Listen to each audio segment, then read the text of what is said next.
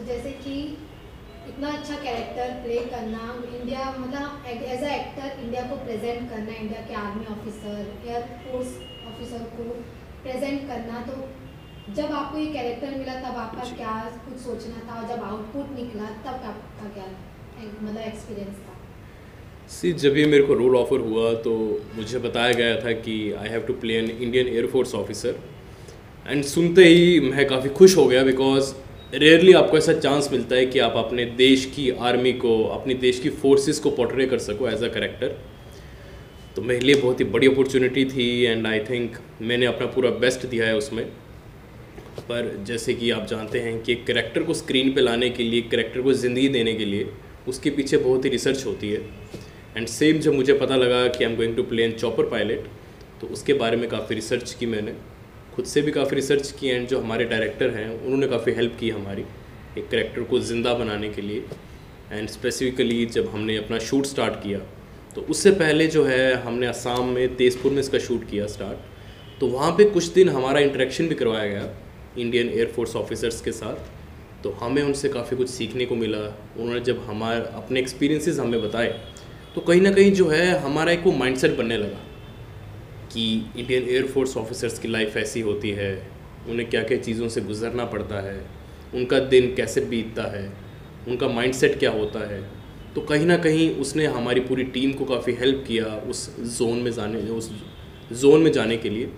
तो I think it was great opportunity for all of us तो Siddharth sir के बारे में बात करेंगे जब वो आपसे पहली बार मिले आपको रोल ऑफ़र। किए तब आपका क्या कुछ बातचीत हुआ था? आपको ऐसा लगा था कि सिद्धार्थ सर ने आके मुझे बोला है कि आपको ये ये कैरेक्टर करना है तब आपका क्या वो मतलब आप क्या सोचे थे?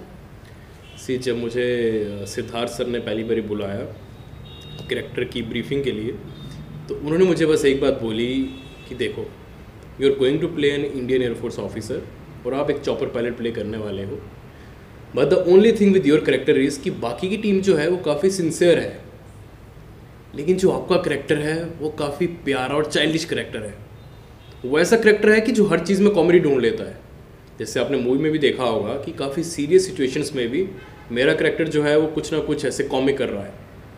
तो आई थिंक उस ब्रीफ ने काफ़ी मदद की मेरी कि जब मैं कोई भी सीन को गो थ्रू कर रहा था तो I was looking forward to कि ठीक है, इस सीन में कैसे मैं अपनी जो ऑडियंस है उनके चेहरे पे मुस्कान ला सकता हूँ? क्या कुछ एक्स्ट्रा कर सकता हूँ या क्या कुछ जो है डिफरेंट कर सकता हूँ? तो उस ब्रीफिंग ने काफ़ी हेल्प की मुझे।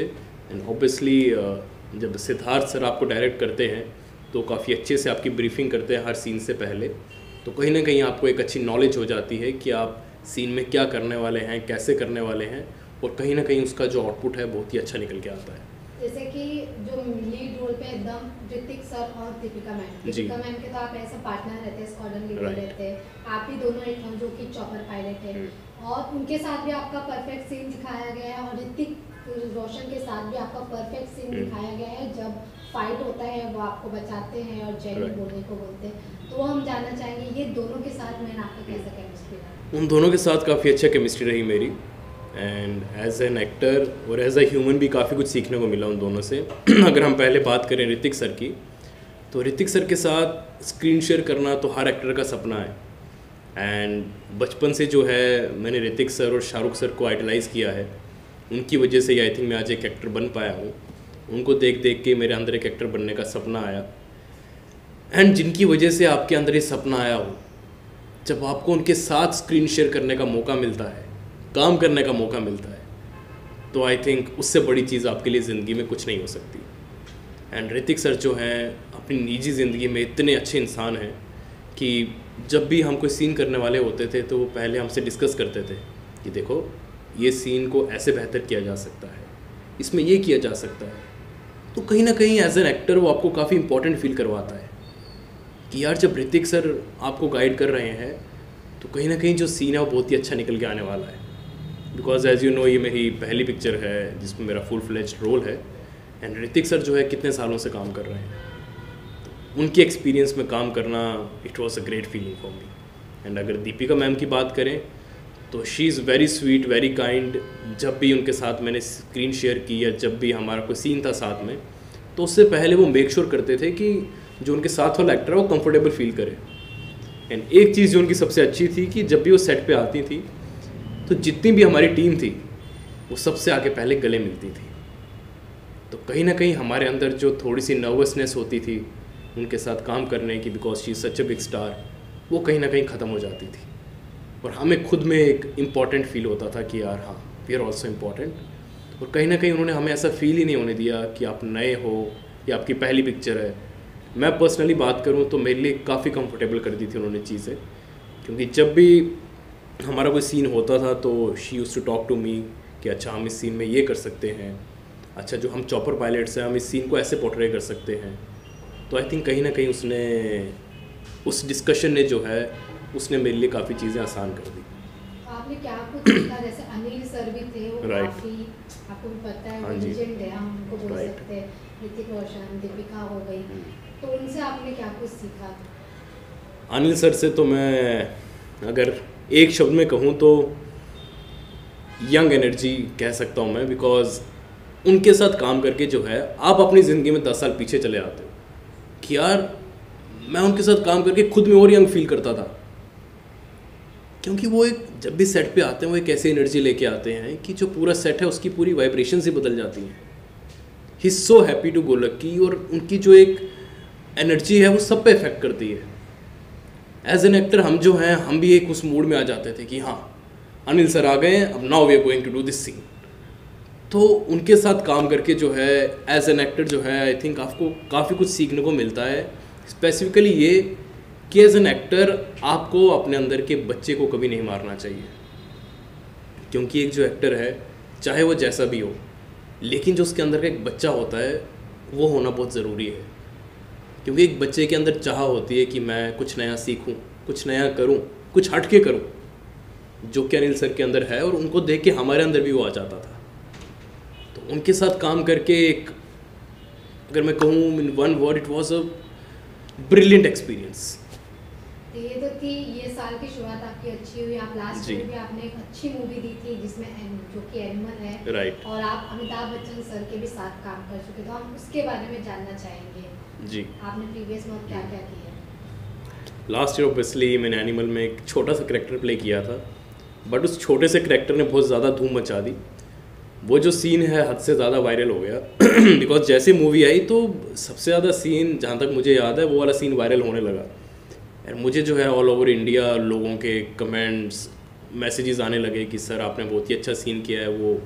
और वो जो सीन है वो था भी बड़ा कॉमिक तो कहीं ना कहीं जब मैं वो सीन परफॉर्म कर रहा था तो मुझे भी बहुत मज़ा आ रहा था कि यार, मेरे दिमाग में यही चल रहा था कि ये सीन जब निकल के आएगा तो कितना पसंद आने वाला है लोगों को। Because it's a very different scene कि आप एक्सपेक्ट भी नहीं कर सकते कि उसमें अगले मोमेंट में क्या होने वाला है। तो it was a great experience for me और जहाँ तक सॉरी श्रेय अमिताभ बच्चन जी की बात करें तो उनके साथ जो है वो एक बहुत बड़े हस्ती हैं। उनके साथ काम करके मैंने सीखा कि ज़िंदगी में आप कैसे इतने बड़े होकर भी कितना हम्बल होकर रह सकते हैं। इतना बड़ा होने के बाद भी कैसे आप जो आपके साथ वाले हैं, उनको इम्पोर्टेंट फील करवा सकते हैं। तो आई थिंक कहीं ना कहीं जो मेरी सबसे पहली एडवर्टीज़मेंट मैंने उनके साथ की, उससे मेरे करियर में बहुत ही फ़र्क आया। मुझे पता लगा कि एज अ ह्यूमन आपको कैसे रहना चाहिए चाहे आप जितने भी बड़े हो जाएँ जितनी भी चीज़ें हासिल कर लें ज़िंदगी में तब भी आपका जो दिल है वो हमेशा नरम होना चाहिए। तो उनके साथ काम करके it was a life changing experience for me आप बेसिकली जम्मू से हैं और इसका मूवी का भी आधे से ज़्यादा शूट जम्मू में हुआ है और जम्मू से आपको बहुत ज़्यादा प्यार मिल रहा है। Right. लोग आपको जम्मू का बेटा कह रहे हैं तो उसके बारे में क्या कहना चाहेंगे? वो एक्सपीरियंस कैसा लग बहुत अच्छा लग रहा है बिकॉज़ जब से मैंने अपनी जर्नी स्टार्ट की है, शुरू से मेरे पेरेंट्स का, मेरे रिलेटिव्स का काफ़ी सपोर्ट रहा है मुझे। एंड स्पेसिफिकली जब अब ये फाइटर मूवी आ रही है तो जम्मू से मुझे काफ़ी प्यार मिल रहा है। जम्मू के जितने लोग हैं, उनका पूरा सपोर्ट है मेरे साथ। एंड कहीं ना कहीं मुझे वो काफ़ी इंस्पायर करता है। बिकॉज़ वैन यू नो कि आपका पूरा शहर आपको सपोर्ट कर रहा है। बिकॉज़ जम्मू में से जहाँ तक मुझे याद है, कुछ ज़्यादा एक्टर निकल के आए नहीं हैं। बिकॉज़ जम्मू एक वैसी सिटी है जहाँ लोग जो हैं वहीं रहना पसंद करते हैं उतना बाहर जाते नहीं हैं। बट जब वो उन्होंने देखा कि मुझ जैसे एक लड़के ने जिसने एक सपना देखा एक्टर बनने का, और आज मुंबई में जाके आज ऋतिक सर के साथ, दीपिका मैम के साथ और अनिल सर के साथ स्क्रीन शेयर कर रहा है तो वहाँ पे काफ़ी अपने बच्चों को इंस्पिरेशन मिली है कि हाँ सपनों को अपने पूरे किया जा सकता है। बस हिम्मत दिखानी होती है। और वो जो है कहीं ना कहीं आई थिंक इंस्पायर कर रही है जम्मू के बच्चों को भी और आने वाली पीढ़ियों को भी। तो मेरे लिए ये बहुत ही प्राउड मोमेंट है। मैं खुद में प्राउड फील करता हूँ कि कहीं ना कहीं मैं वो अचीव कर पाया। जी सर आपकी जो स्टोरी है आप जो अभी कर रहे हैं उससे Right. बहुत जन मोटिवेट होंगे और ऐसा लग रहा है नेक्स्ट ईयर जम्मू से और भी एक्टर हमें सामने हाँ आते। हुए दिखाई देंगे। और अब फाइटर के बाद क्या कुछ प्लानिंग है आपका आपका कुछ अपकमिंग प्रोजेक्ट्स फाइटर के बाद एज एन एक्टर तो यही है कि मैं जितने करेक्टर्स कर पाऊँ, जितना अपनी ऑडियंस को दे पाऊँ बिकॉज़ एज एन एक्टर मेरा, जहाँ तक जो मेरा पर्सनल गोल है, वो ये है कि हमारी जो ऑडियंस है, हमारे जो देशवासी हैं, जो सिनेमा को पसंद करते हैं, देखते हैं, मैं उनके चेहरे पे मुस्कान ला पाऊँ। तो कहीं ना कहीं मैं ऐसे करेक्टर्स की तलाश कर रहा हूँ कि जहाँ मुझे वो मौका मिले कि मैं सबके चेहरे पे मुस्कान ला पाऊँ, उन्हें दो पल की हँसी दे पाऊँ।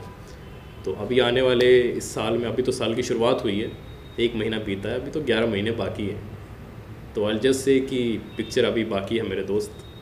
2024 जो है, काफ़ी अच्छा साल होने वाला है, अपने सिनेमा के लिए भी बिकॉज़ सिनेमा की शुरुआत जो इस साल की हुई है फाइटर के साथ हुई है तो आने वाले साल में भी बहुत ही अच्छा एक्सपीरियंस होने वाला है और आपको कहीं अच्छी चीज़ें देखने को मिलने वाली हैं। एंड मैं आपको थोड़ा सा क्लू दे दूँ तो कहीं ना कहीं उसमें मैं भी आपको दिखने वाला हूँ।